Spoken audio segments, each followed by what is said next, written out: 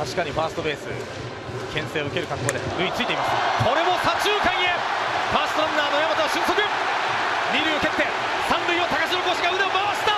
さあアルトゥーベからボールが返ってそれた。さらに1点返した。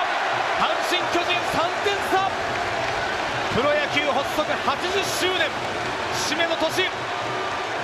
80年前は手も足も出なかったメジャー相手。それが80年の歴史。WBC を2度制した日本野球。5点を奪いました。3点差。いやちょっと井口さん日本勢は勢い出てきましたね。勢いありますね、え。ー一気にいきたいですね。はい。